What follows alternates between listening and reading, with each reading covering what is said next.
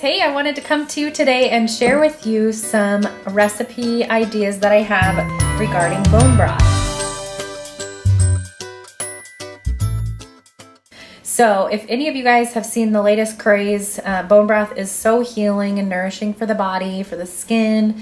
Um, I've talked about it a little bit on our page here, um, but I wanted to share my how-to video of how I make bone broth. Um, and I my recipe is different every single time I make it because I just use what I have on hand. Um, I use what kind of bones I happen to have on hand. So the flavors kind of vary from my bone broth to bone broth.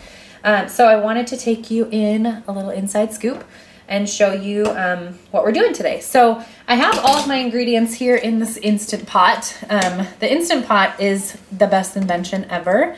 I love it. It is a digital pressure cooker and um, it has saved me so much time. What used to take me 24 to 48 hours in the crock pot um, or on stovetop, wasting lots of electricity, making my house smell like chicken broth for days, um, has now made equal or better uh, bone broth in my Instant Pot in 90 minutes to 240 minutes, depending on um, kind of what your opinion is on it. I have made great bone broth on 90 minutes and so I kind of like less time because you guys are busy like me. You have kids or you have jobs or you have other things that you have to tend to. So why slave over something all day? And um, I just throw everything in there, fill it up to the max level line with water. So I'm gonna share with you what I have in there today. In my Instant Pot today, I threw in a lot of bones that I've saved over the last probably oh, three or four weeks. And so when I'm done with a meal and I have all the bones, you know, all the chicken deboned or the uh, we have leftover, you know, beef bones or whatever it is.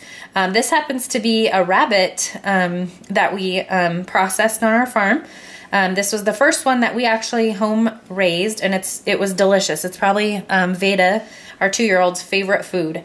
And so um, any of the any of the carcass that we didn't use for our rabbit stew, um, I just threw in a gallon size zipper bag and then I just throw the bones in as I have them throughout the week. So what we did here is I, I save my bone broth uh, bones that I intend to use for bone broth um, for you know three or four weeks ahead of time and I just save them in a gallon size bag, throw them in the freezer. So if we eat um, barbecue, um, beef ribs or we eat a whole chicken or we have rabbit like we had this week. Um, so rabbit, this is the first rabbit that we were able to um, raise on 20 acre farms as well as process. And let me tell you, if you love chicken, rabbit is probably honestly my favorite white meat. They have a majority, I think it's actually a majority of white meat. I don't think there's hardly any dark meat, which I typically am a white meat lover, but, um, or sorry, a dark meat lover. Um, and I actually love rabbit, and it is Veda's favorite food, and she just licks her fingers until it's all gone. Um, so anyway, back to the bones. I save my bones for three or four weeks. Throw them all in just the Ziploc bag. So it could be it could be beef, chicken, rabbit, um, whatever meat you happen to use. Throw them in that Ziploc bag, and then you can just keep adding things throughout the weeks. Um, then when I'm ready to throw out my bone broth, I add in onions. I add in garlic. Um, lots of spices. I love turmeric, it's great anti-inflammatory. It is um, really delicious and it adds lots of good flavor. Um, I throw in chopped ginger, I throw in rosemary, thyme, basil, salt, pepper. Uh, what else did I throw in this one? Um, if you have carrots or if you have celery, onion, uh, garlic, any of that, any of those uh, nice herbs and vegetables, they just are gonna uh, really give you an earthy tone um, flavor for your bone broth. Um, so like I said, my recipes vary from bone broth to bone broth that I make just depending on what kind of meat I've used um, or what kind of spices I happen to just throw in.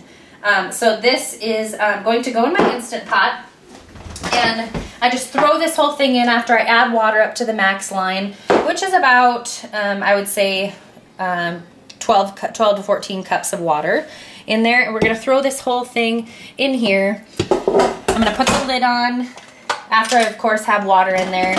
Um, and you're gonna set this steam release to the close so that way it's gonna build up um, the pressure of the of the steam. And this is just a digital pressure cooker. It is, you know, most of our grandparents probably used uh, pressure cookers that were not safe. They have a lot of risk with boiling water or explosion. And um, this thing is just genius. I have made so many things in this Instant Pot and love it. I'm gonna push manual on here and it is set to 240 because that's probably the last setting that I had it on. And I've heard um, people that do bone broth that use the Instant Pot have done it in four hours. And I've heard a lot of people that love it in 90 minutes. So I tried both and actually I still had really gelatinous uh, bone broth after nine minute, 90 minutes. So I decided less is more. So I'm gonna just set it on 90 minutes, you let it go, and it'll automatically build pressure.